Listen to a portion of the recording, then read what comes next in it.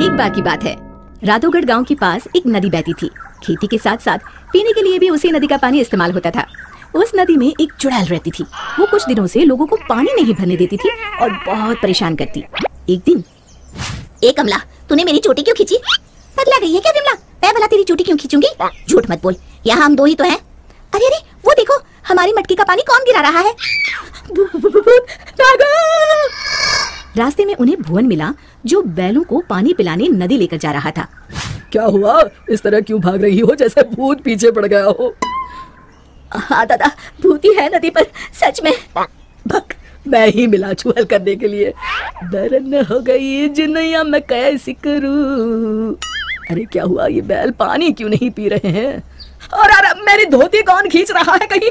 ब- ब- ब- भागो रे इसी तरह एक दिन रामू वहाँ से जा रहा था। उसने देखा बीच धारा में एक औरत बड़े ही आराम से बैठी हुई है। ए, तुम वहाँ क्यों बैठी हो? अरे बाहर आ जाओ। मरना है क्या?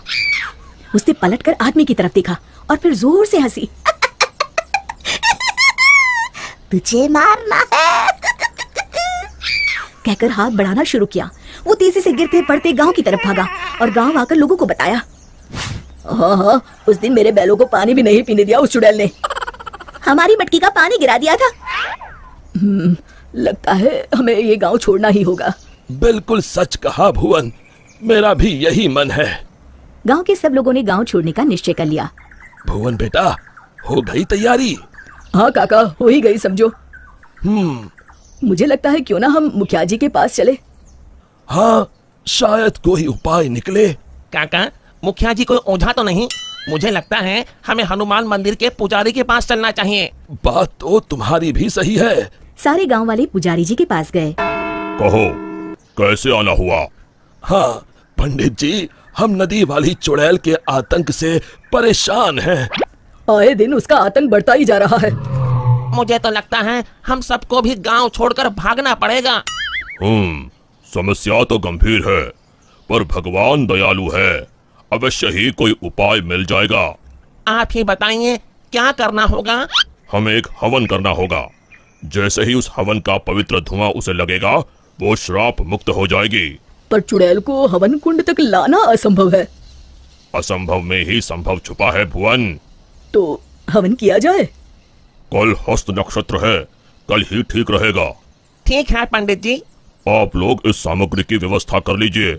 मैं ब्रह्म मुहूर्त में वहाँ पहुँच जाऊँगा। हम सब भी पहुँच जाएँगे। हवन कुंड तैयार है। मैं जल लेकर आता हूँ नदी से। किसकी मौत आई है? जो मुझे सोते ही जगाने चला आया चुड़ैल जी आप सोइए। मैं तो पूजा के लिए जल लेने आया हूँ। ये नदी मेरी है। इसका पानी भी मेरा।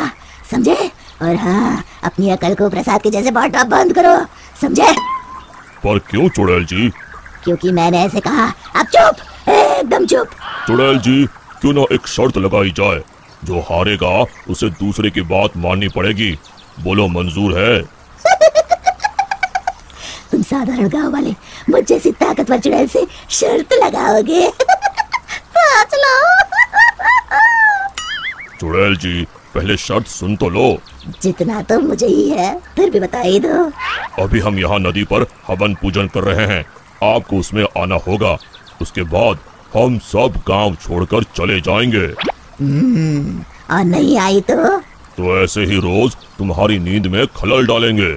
ठीक है पर मेरी एक शर्त है। मुझे कोई मंत्र सुनाई नहीं देना चाहिए। मैं पूजा में भाग नहीं लूँगी। ठीक है चुड़ैल जी। आप बस वहाँ बैठिएगा। चलो। गाँव वाले चुड़ैल को देखकर डर गए। पर पुजारी जी ने इशारा किया तो वो शांत होकर बैठ गए। जैसे ही पंडित जी ने आखिरी आहुति आग में डाली और धुआँ चुड़ैल की तरफ़ गया, वो जलने लगी और ज़ोर ज़ोर से चीखने लगी। बचाओ, मैं चल रही हूँ, बचाओ, मैं बचाओ, मैं सबको खा जाऊँगी, किसी को नहीं छोड़ूँगी। धीरे धीरे उसकी आवाज़ शांत हो गई। सब लोग सोच रहे थे कि चुड़ैल जलकर राख हो जाएगी, पर ये क्या? उस डरावनी चुड़ैल की जगह पर एक खूबसूरत परी खड़ी थी। वो मुस्कुराते हुए बोली, मैं एक परी हूँ। एक शाप के कारण मुझे चुड़ैल बनना पड़ा। आज आपके कारण मैं शाप मुक्त हो गई हूँ। अब मैं परी लोग जाऊँगी। उससे पहले एक वरदान देना चाहती हूँ। मांगो क्या मांगती हो? अगर कुछ देना है तो ऐसा वरदान दो कि इस नदी का पानी कभी न सूखे। तथास्तु। कहकर परी उड़ गई। फिर सब खुशी खुशी रहने लगे। शिक्षा समस्या की जड़ तक पहुँचे बिना हार नहीं मानना चाहिए।